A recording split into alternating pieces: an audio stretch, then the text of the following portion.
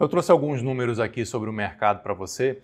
É, esses números, eles obviamente não são corretos porque são números que as próprias startups alimentam e tem muita startup por aí que está lançada, que está funcionando, mas que não faz uma associação, que não faz questão de dar esse número. Então são números básicos para que você tenha uma noção do mercado. Né?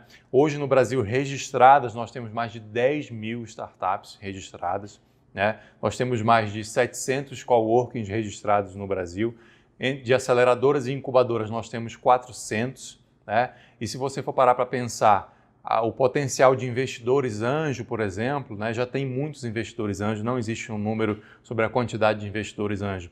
Mas se você for parar para pensar que qualquer pessoa com um pequeno capital, um razoável capital disponível para investimento é um potencial investidor anjo, basta que haja uma educação, basta que ele entenda o funcionamento, como funciona o ecossistema e o investimento anjo, juntando todos esses números, você vai ver que o potencial de mercado é absurdo uh, de startups no mundo e no Brasil. Né?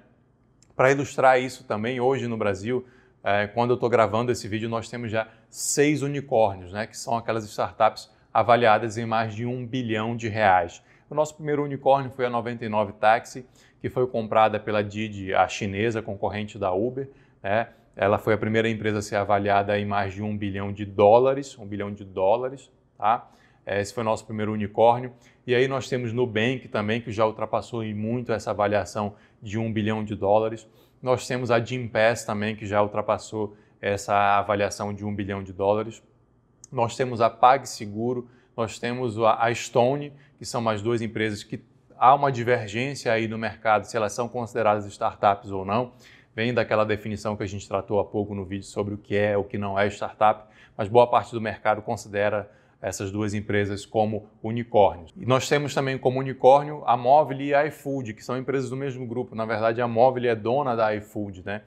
E é uma empresa também brasileira que é avaliada em mais de um bilhão de dólares. Então, nós já temos seis unicórnios para que você possa enxergar, estou te dando esses números para que você possa enxergar potencial que esse mercado tem. E a gente ainda no Brasil, a gente ainda está engatinhando, é por isso que eu bato muito forte na tecla de que quem entra primeiro nesse mercado vai se dar muito bem no curto e no médio prazo. Esses números que eu estou falando são de agora, né?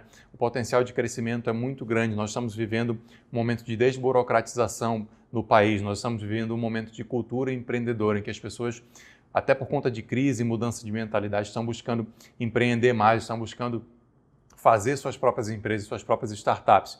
E é claro que todas essas empresas, se crescerem, boa parte delas, as incubadoras, aceleradoras, coworkers, investidores, todas elas vão precisar de advogados qualificados e competentes.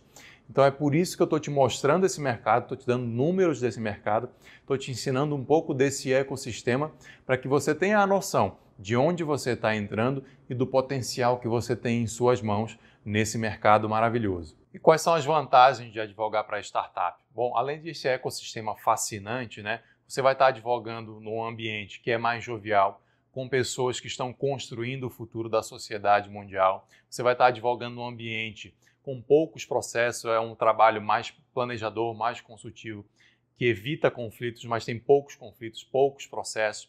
Você vai estar advogando num ambiente que tem potencial altíssimo de ganhos, inclusive para os advogados você vai estar lidando com pessoas que têm alto desenvolvimento pessoal, uma visão gerencial, de marketing, e todo esse conhecimento você pode absorver também.